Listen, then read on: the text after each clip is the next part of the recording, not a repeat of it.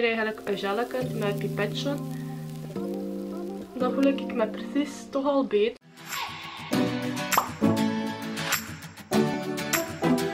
Hallo allemaal, welkom terug in een nieuw filmpje. Vandaag ga ik jullie mijn make-up ochtendroutine laten zien in de ja, zo lente-zomer. Het is nu bijna al juni en het is eigenlijk al super warm buiten. Dus uh, allez, nu voorlopig toch. De, de week dat komt gaat ook nog goed weer zijn.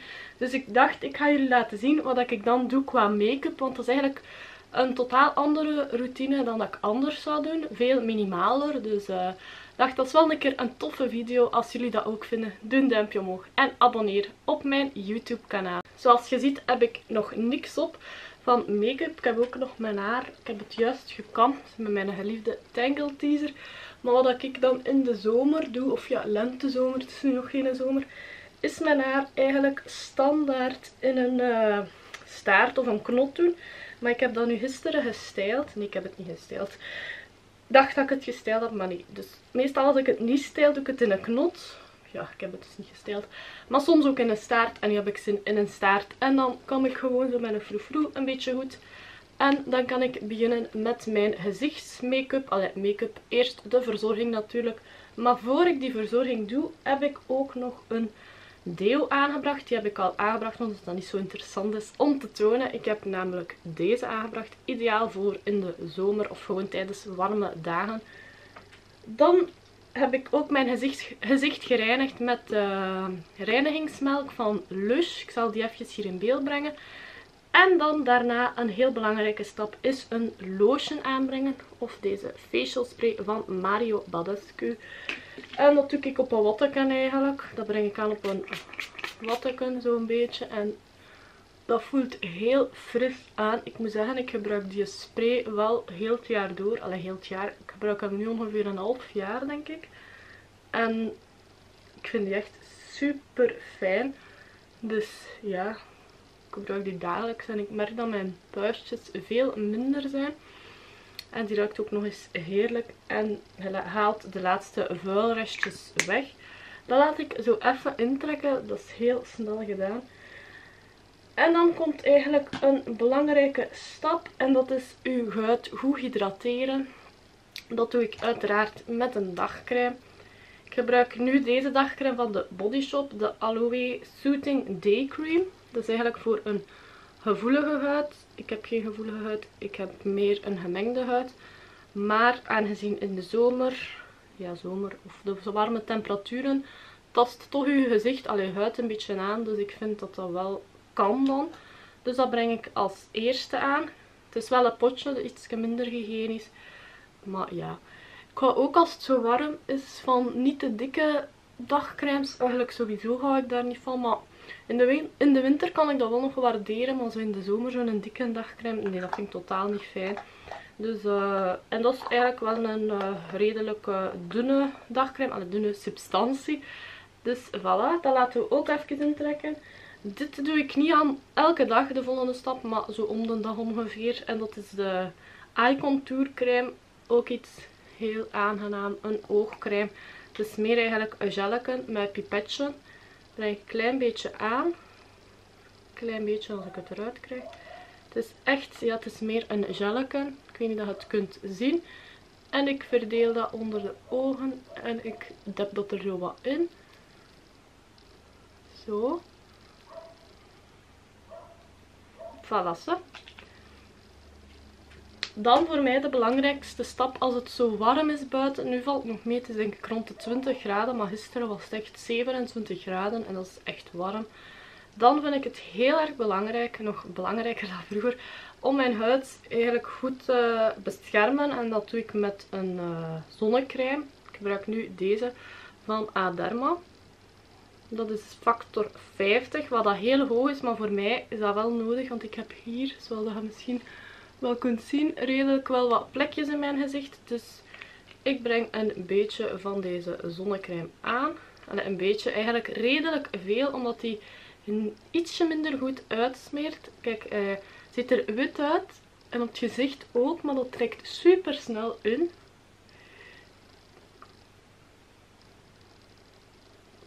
Zo. En wat ik ook doe, als ik zo een open hals heb, smeer ik dat ook zo tot hier. Of neem ik nog een beetje bij. En voilà. Dan voel ik me precies toch al beter. En wat ik soms ook doe, is een zonnecrème met een kleurtje in gebruiken. Maar meestal heb ik niet zoveel zin om te veel op mijn gezicht te hebben. Dus daarom doe ik dat niet. De volgende stap is mijn wenkbrauwen inkleuren. Uh, maar ik zie dat ik hier mijn wenkbrauwkitje niet heb liggen. Dus ik ga dat even nemen. Mijn wenkbrauwen kleur ik nog altijd bij met deze. Met de Catrice Eyebrow Set. En nog altijd met hetzelfde kwastje. En op dezelfde manier heel minimaal eigenlijk. Dus dat ga ik eventjes doen. Kijk ook even in mijn spiegelken.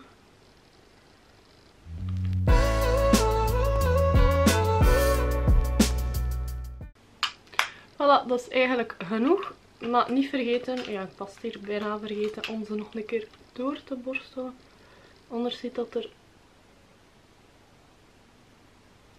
veel te intens uit. Voilà.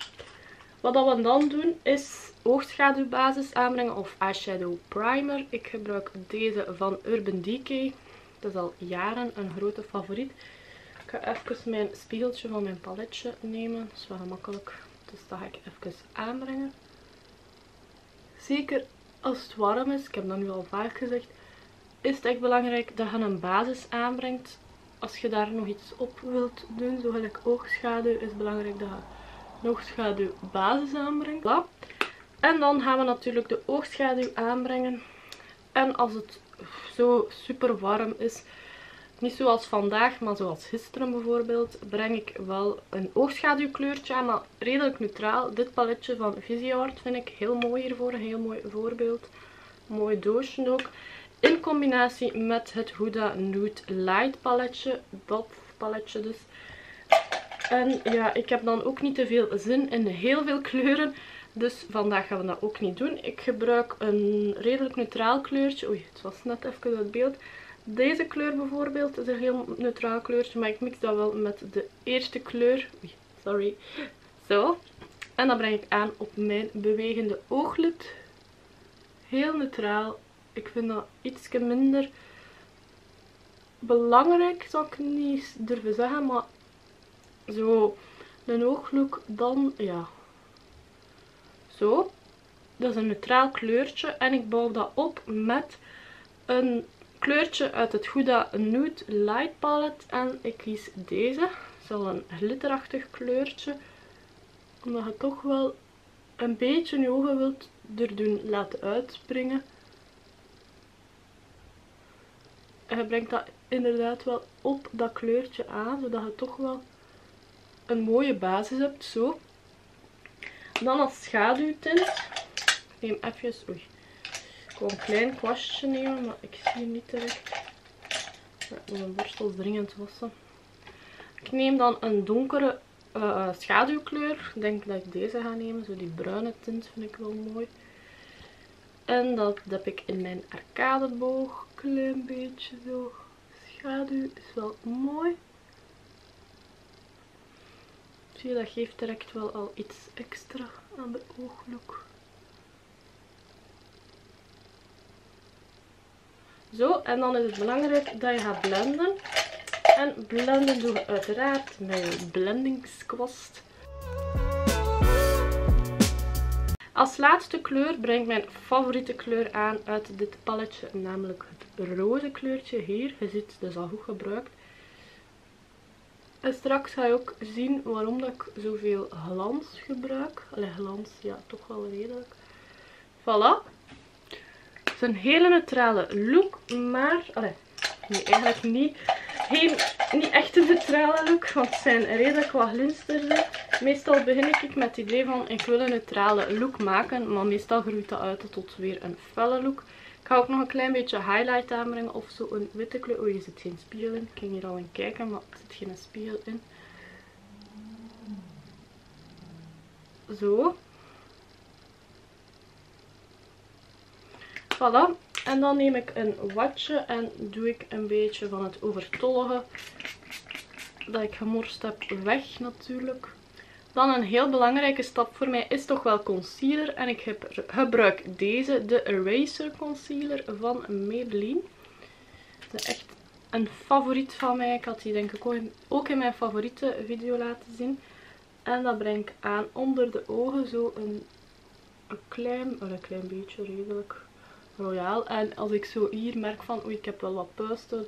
Breng ik dat daar ook aan. Meestal is dat mijn kin. En dan blenden we dat uit.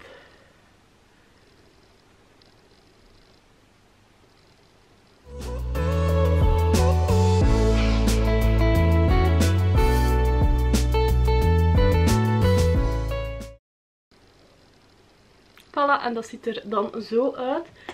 Als het warm is gebruik ik ook graag een transparante poeder of een losse poeder eigenlijk. Zo'n losse poeder in een doosje. Ik gebruik nu deze van Make-up Studio om alles een beetje te fixeren. Ik doe een beetje van dat poeder in dat dekseltje. Dan neem ik een grote poederkwast. Ik weet dat ik niet overhans mijn gezicht iets van concealer heb aangebracht. Maar ik breng toch dat poeder overhans mijn gezicht aan omdat dat toch een beetje mattifieert. Zeker als je gaat zweten. Overhans mijn gezicht breng ik de transparante poeder aan. Zo zorgt dat voor een mooi mat effect eigenlijk. En dan met een klein kwastje. Oei. Breng dat nog een beetje aan onder de ogen. En inderdaad, ik, ik gebruik geen foundation of ander product voor mijn gezicht wat kleur te geven. En voilà, dat was het eigenlijk al. Allee, we zijn nog niet klaar. Ik ga nu nog eventjes mascara en oogpotlood aanbrengen. Ik gebruik nu deze mascara sinds een weekje. De Lash Princess Mascara van Essence. En het Chocolate Brown, Hot Chocolate, nee Hot Chocolate oogpotloodje. Dus dat gaan we ook eventjes aanbrengen.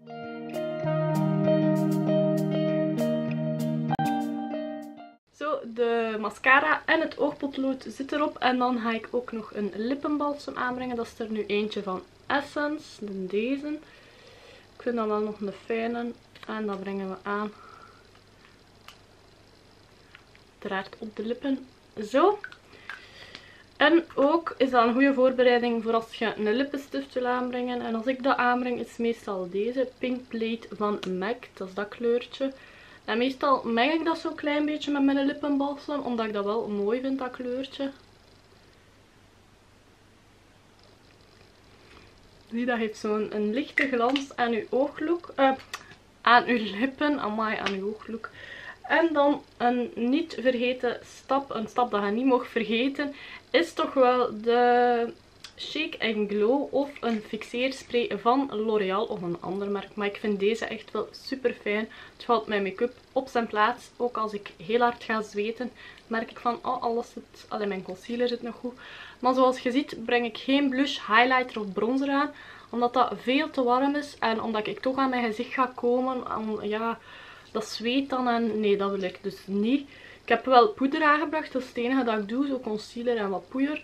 En ja, dan ook nog deze setting spray mogen we niet vergeten. Dat is echt een heel belangrijke stap met het warme weer. Even schudden en dan aanbrengen. Dat is echt heel fris. Voilà zo. En dan onderweg, als ik zo zeg van oh, ik zweet en ik wil toch wel een beetje poeder aanbrengen, gebruik ik deze van Soap and Glory. Deze. En die vind ik wel heel fijn. Zo, dat was mijn make-up of ochtendroutine als het heel warm is buiten.